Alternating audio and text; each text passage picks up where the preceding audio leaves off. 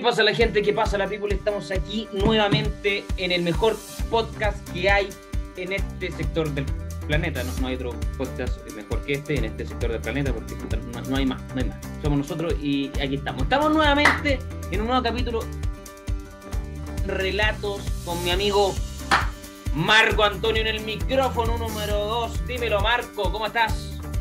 Bien, pues mi amigo Hanso, con Z esta vez, ¿ah? Con Z, no, Bien. A la querida audiencia la saludamos. ¿no es cierto? A los que nos ven. Eh, bienvenidos nuevamente a este Relatos junto a Hanso, con Z, para que lo sigan, arroba Bien. Hanso21, pero con Z, si no, no lo van a encontrar. Sí. Sí, o sea, después de seis meses. Y, y- y Marco, ¿cómo te tienes tú en redes sociales? Eh, por Marco-Robbie19. Pero ahí Marco después bajo ahí ustedes 19. ponen los comentarios cuando digan pa, like, I like, I like. Ah, mi profe de inglés va a estar contenta porque sé decir I like, ¿viste? Sí, por la No, misma. no, no vamos a hablar en ese detalle de tu propio inglés, weón, porque Eh, hay- hay- hay- yo me voy a encargar. Yo me voy a encargar de hacer los saludos a todos los profes, ¿no? Interesa. saludos. Aunque sea. Perfecto. Me, me- voy a saludar hasta que me salga. parece perfecto. Después no sé. Ya está bien. Me parece, me parece correcto. Bien, pues Hanso, amigo mío, contento con nuestro ya segundo capítulo de Relatos. El primer capítulo fue un capítulo introductorio. ¿Qué te pareció el primer capítulo? ¿Lo pasaste bien? Estuvo, estuvo novedoso, estuvo entretenido, estuvo curioso, porque es algo nuevo que nos estamos metiendo eh, en conjunto, eh, pero todo, todo gracioso, simpaticón, ahí agradable, no, no te lo va a negar. Sí, ¿A ti qué te pareció? Esa es la idea. ¿Te gustó? Esa es la idea, que sea algo agradable, que podamos conversar, salir de lo cotidiano. Y por qué no entregar algunos tips, ¿no es cierto? Un saludo cordial a nuestra Escuela de Comunicaciones. Hay que decirle a, a nuestro público, a nuestros fans, que somos estudiantes de Relaciones Públicas, primer año, Duoc UC Viña del Mar, y pertenecemos a la Escuela de Comunicaciones de Duoc. Por lo tanto, un gran saludo también a nuestra escuela ahí que nos, que nos está formando y que está haciendo que podamos salir adelante, por ejemplo, con este tipo de proyectos personales y que sean buenos, buenos, buenos. Claro. No a decir bueno porque siempre me Bueno, bueno. bueno. Bueno, Eso, mi amigo. bueno, que cuando es bueno, es bueno, es bueno. Así es. Bueno, bueno, bueno. Y ahora podríamos. Eh, bueno, Tomar agua como Marco, tú me entiendes, ¿no? sí, oye, sí. ¿Tú cachaste cuánta, eh, cuánto bajaron las inversiones de Coca-Cola con esa web? Sí, pues un montón. Yo creo que hay todo, todo el, toda la oficina de comunicaciones, ¿no es cierto? Relaciones públicas. Todos, todos. Hasta el que barra en Coca-Cola estaba un poco asustado. Un poco nomás. Está hasta Porque, el pico, 4 mil millones de dólares. 4 mil. Pero bueno, Marco, ¿qué tenemos para hoy? Cuéntame. Bueno, Hans, hoy día va a ser interesante que podamos conversar un poco lo cotidiano, cómo ha estado, ¿no es cierto?, este día a día en pandemia, que seguimos en pandemia, ¿m? en, en estos días lluviosos, que ha sido buena esta agüita, por lo menos por estos lados donde yo vivo. Harto frío, harto frío. Sí, y tú me comentabas algo respecto al, al mismo tema, pandemia, nueva cepa. Claro, sí, pues eso es lo que te iba a comentar. Eh, llegó, o sea, específicamente no me sé la, la noticia, pero la weá es que llegó una nueva cepa a Chile, cepa Delta, weón, y supuestamente esta weá es cuática, es cuática. Y de la información que sacaron, que la señora que trae esta cepa eh, se hizo el PCR después de siete días estando en Chile, fue un funeral, eh, no, la, no, no le hicieron un PCR previo, no hizo cuarentena, weón, como que se pasó por el pico la weá y, trajo la peor cepa, weón. Y, aquí estamos. Y ahora reactivaron el tema de la de la etapa de transición, weón. Y, y estamos hasta. Bueno, es- una cosa que en todo caso igual como que se espera que pase, porque esta cosa ha sido tan nueva para todos, entonces el, el que mute no mute este, este bicharraco es como una historia, no sé, Resident Evil, ¿cachai? O sea, cada vez va a ser peor a lo mejor. Y No, no, no, claro, sí, sí, eso está bien, solo que el tema es que toma las medidas, pues, weón. O sea, si venís llegando a otro país, así cuarentena, PCR y toda la weá, y no hay un funeral, pues, weón. O sea, claro, bueno, que ahí, ahí está el tema. entender, pero La persona, Pero las pues, medidas que tomaron, donde- como lo Claro, ahí es donde nos caemos. Pues si siempre es como cuando uno tiene un, un problema en el computador. Siempre el problema, me decía un amigo, está entre la pantalla y el asiento. Ahí está el problema. ¿Cachai? Me gustó, Sí, me gustó, está buena. Entonces, esa situación, lamentablemente, eh, me pregunto yo, ¿cuántos de los amiguitos, compañeritos se saltan, por ejemplo, el tema de, de no cumplir con los límites de ciudad, por ejemplo? ¿Ah? Fin de semana, su carrete. Claro, entonces ahí es donde tenemos, tenemos falencias, pero que hay que ir mejorando. Si esta cosa, lamentablemente, estamos jugando con la vida, entonces eh, Claro. es, algo, es algo interesante que podamos poder considerar. Oye, compadre, pero además de eso, yo escuchando el podcast anterior, el programa anterior, me di cuenta que igual lanzamos varias ideas interesantes. ¿eh? ¿Ah?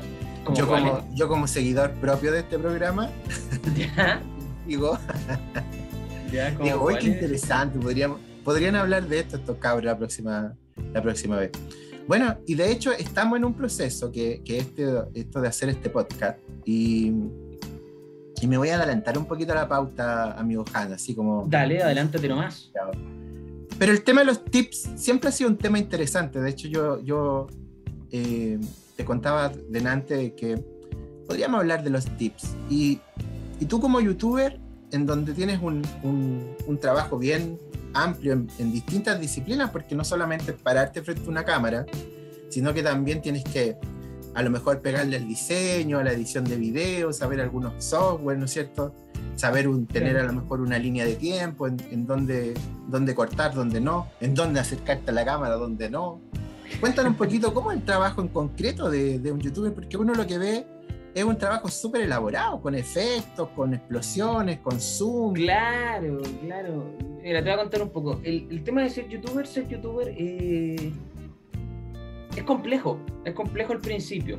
Cuando le agarré el ritmo a la weá, eh, se, se va haciendo más fácil, más monótono. eh, le agarré el ritmo, se, se simplifica un poco. Pero al principio cuesta porque te estáis. so- Sobre todo si no tenéis un conocimiento amplio de ese mundo, ¿cachai? Tal vez podéis ver algunos youtubers eh, que veías hace años y los ves porque te gusta su contenido pero así de meterte de lleno en la materia eh, es complejo. Porque, por ejemplo, eh, tienes que tener eh, contemplado las estadísticas, las métricas de YouTube. Tienes que estudiar eso. Tienes que aprender a editar. Tienes que aprender a saber hablar frente a una cámara. Que bueno, es una wea que al principio es rarísimo, porque estáis, imagínate, estáis solo en una pieza, normalmente, o voy a estar haciendo un blog, pero normalmente estáis solo en una pieza hablando en una cama. Al principio es más raro que la mierda, te sentís como rarito. y, y le habláis una cámara y, y no estáis solo, pues, es como muy esquizofrénica la wea. Pero, pero ah, después te acostumbráis, después te acostumbráis. Y aparte de eso, eh, aprender a editar, como ya te dije.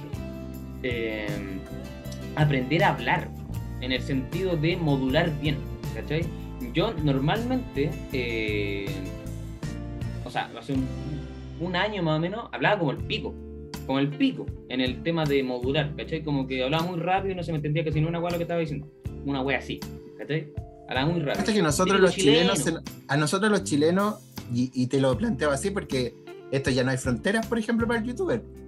Para los chilenos, o sea, nosotros los chilenos hemos, sido criticados porque hablamos demasiado rápido. O sea, bla, bla, bla, bla, bla, bla. Claro, Bueno, y el pero- po, el pi, el pa y todo lo, lo- bueno, una, una cantidad de modismo y, y- y le agregamos palabras, le sacamos a otras, le sacamos la S a weá, eh, ¿cómo estás? ¿Cómo estáis? Bueno, una, una serie weá Claro. que a nivel sudamericano creo que somos el país que habla peor.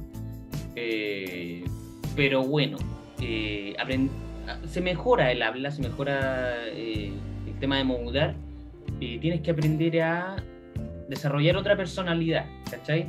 Porque ponte tú, es distinto. Yo, yo digo que Hanso es un personaje, ¿cachai? Hanso es como un personaje. Yo, yo soy más de estar diciendo carato a cada rato. Hanso es como más reservado a esas weas, ¿cachai? Porque si no, igual intento que sea un contenido entre comillas, como para niños, pero en realidad no, es como para todas las edades. Eh, pero yo soy muy bueno para la chucha, pues, soy muy bueno para el culiado, para los huevos. Claro, y ahí es donde entra en concreto lo, lo, que nosotros estamos aprendiendo también, por los famosos públicos objetivos a quienes queremos estar dirigidos. Claro. Y ahí justificáis completamente el, el, rol del youtuber independiente al área, o sea, y sin hacer una crítica tampoco, pero eh, identificas perfectamente al socio que, claro, que quiere una cuestión más relajada, que quiere su chuchadita, su tallita, quizás con doble sentido, no sé. Eh, versus también lo otro que puede ser una cuestión más académica, eh, interesante. Oye, pero dentro de las herramientas que tú ocupas, aparte de esta cosa así como, como dentro de la formalidad, ¿no es cierto? Las típicas cosas eh, bueno, yo me imagino que ya estáis con software mucho más elaborado, pero para las personas que nos escuchan o que nos ven, que quieren partir en este proceso, ¿cuáles son los pasos que uno tendría que, considerar como para empezar en este, en este camino? Para, em, para empezar, lo que yo recomiendo mucho es principalmente consumir mucho YouTube, consumir mucho YouTube. Eh, ¿Solo YouTube? Igual tiene un poco... Eh, sí. Sí, sí, consumir harto YouTube porque si tú te quieres volver youtuber tienes que eh, consumir youtubers, ¿cachai? Tienes que hacerlo, tienes que interiorizarte, acostumbrarte y a la vez eso al menos a mí me, motiva. Veo mucho YouTube y me motivo y me pongo a grabar, ¿cachai? A mí me pasa esa cosa. Eh, eso, eh, el tema de edición, si es por celular, eh, ojalá que sea iPhone, que sea KineMaster, es un, un, buen editor. Si no, sí, KineMaster es un buen editor. Y si es en PC, Filmora 9 o Adobe Premiere. Esos dos. O sea, son, medio complejos, pero le agarré la mano y 10 de 10. Y se podría partir, claro, claro. Las herramientas siempre son fundamentales, tecnológicas, como para este tipo de trabajo. ¿ah? Son, pareciera ser inalcanzable. Uno, uno también cuando empezaba, ¿no es cierto?, decía, no, ¿para qué eso? Pero te das cuenta que efectivamente con la herramienta adecuada puedes lograr un, muy, muy, muy buen resultado. Eh, Al hoyo. Sí, pues. de hecho, muchas disciplinas, la otra vez veía eh, una entrevista de Colonizados del profe Francisco Isla, donde entrevistaba a una chica periodista que estaba corresponsal de Canal 13 en, en Italia. Y claro, tú te empiezas a fijar, por ejemplo, en las fotografías que salían en Instagram de, de sus cosas que implementaba y habían varias que solamente era con un solo celular. Entonces, dentro de las categorías, ¿no es cierto? Por ejemplo, iPhone, eh, que pareciera ser que son las más, más potentes. Yo no creo que sea. de cámara, sí. Claro, entonces, eh, basta a veces, por ejemplo, para hacer una pega, tener una herramienta como un celular y ahí te mantenís, creo yo, que con un, con un súper armamento como para poder salir adelante. Interesante, bueno, y obviamente hay que crearse su cuenta. Claro, te tienes que crear una cuenta en YouTube, eh, que bueno, cosa de colocar tu Gmail y se acabó. ya. Hoy en día tenéis Gmail y podéis hacer cualquier cosa para cualquier cuenta, eso es básico. Eh, ¿Qué más? Eh, estudiar métrica, estudiar métrica, porque lo que, lo que sucede mucho es que al principio uno quiere crecer súper rápido y darle el palo al gato, achuntarle con un video y hacerse famoso. Hay muy pocas personas que logran esa wea. Yo conozco casos, ¿cachai? Que le achuntaron al palo al gato bueno, en un lapso de menos de seis meses y se hicieron famosos. Bueno, y, yo quedé así como, ¿por qué él sí yo no? ¿cachai? Es como un tema de suerte.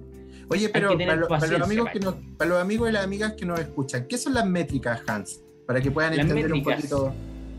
Las métricas, si tú te vas al, tema de, YouTube Studio, que es como una eh, ventana que, está dentro de YouTube, eh, en tema de configuración, eh, son las estadísticas que te arroja YouTube eh, constantemente, diariamente.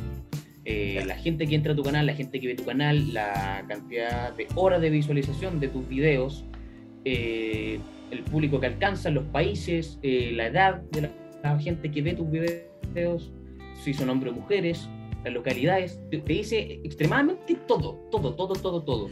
Mira qué interesante. Y está dentro de la, está dentro de la plataforma misma de YouTube, por lo tanto la persona no es necesario que busque otro sistema como Metricool, por ejemplo, otro Google Analytics. Exactamente. Que le permita ya, perfecto. Yo, digo que las estadísticas de YouTube son mil veces más precisas que si tú enlazaras tu cuenta de YouTube a Metricool, siendo que Metricool es muy buena, pero eh, YouTube tiene mejores estadísticas, más completa.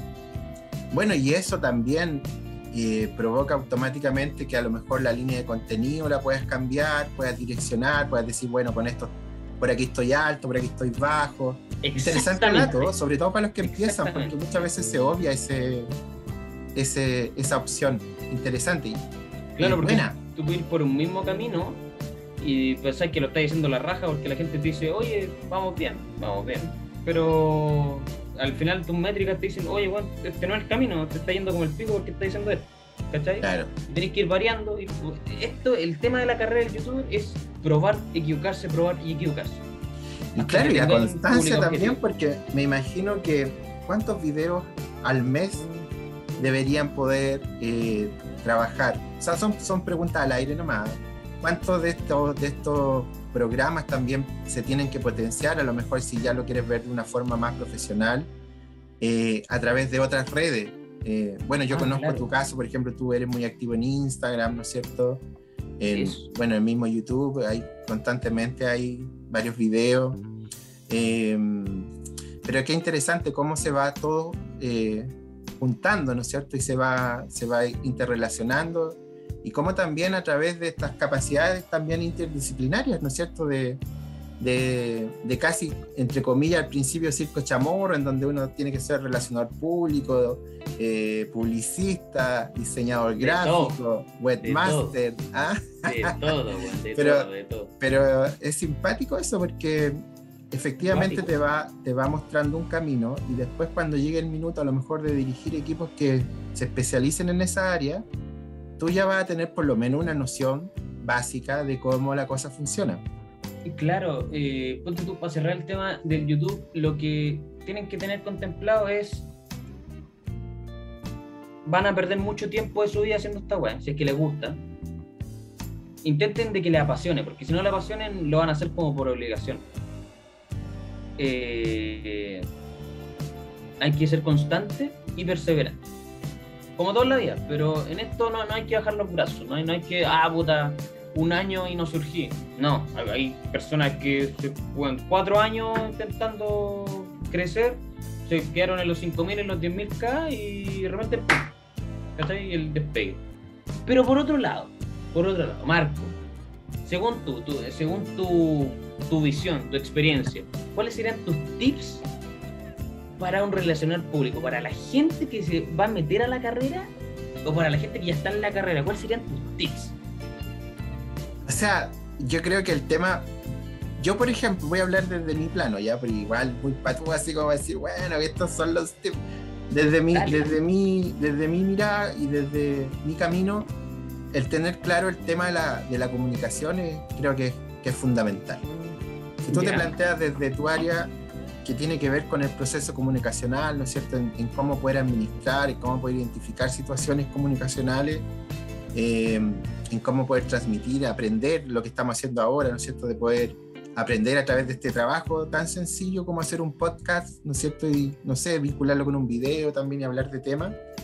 Eh, por lo menos abre, abre camino y dice, pucha, ¿sabéis qué? Efectivamente lo que me enseñaron en esa clase, eh, claro, la estoy aplicando ahora y me sirve. ¿Cachai?